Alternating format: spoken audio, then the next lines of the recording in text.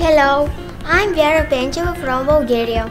I got a prize in the last Clint Memorial Painting Competition. I won a trip to Kerala.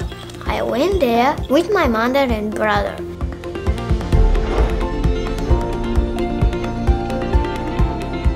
It was a beautiful trip.